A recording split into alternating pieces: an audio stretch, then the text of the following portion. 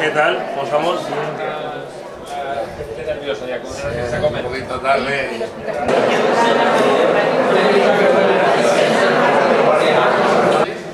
Merecidas por otra parte del servicio de restauración.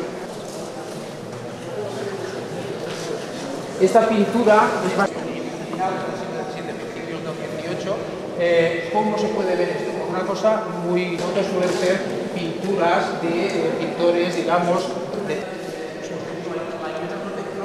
que, que relicario de, del Lignum Crucis, porque ustedes ya saben que las iglesias eran el último de la cruz que se sitúa en el Ahora explicaremos el tema de los tramos.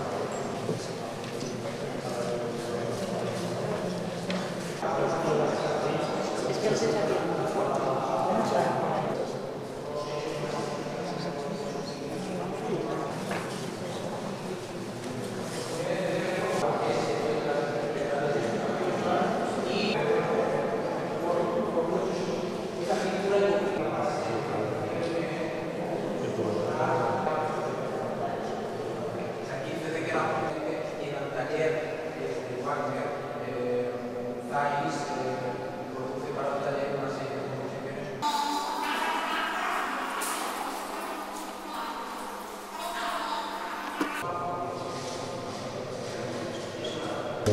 de.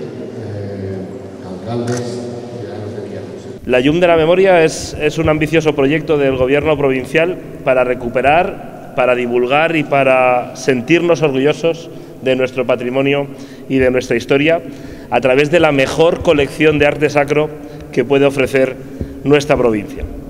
Esta muestra itinerante que estrenáis vosotros, que estrena Villahermosa, recorrerá hasta 2019 ocho pueblos de la provincia llegando a todas las comarcas.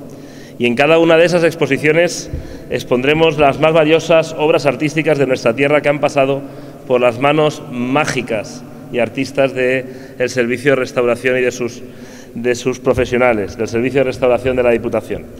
Quiero agradecer esa iniciativa de trasladarnos la cultura de nuestro territorio y de nuestra provincia a Villahermosa del Río para que podamos sinceramente disfrutar de esa cultura, de ese patrimonio especialmente religioso que durante este verano y este otoño estará aquí en Villahermosa, que nos traerá algunos visitantes y que nosotros podremos disfrutar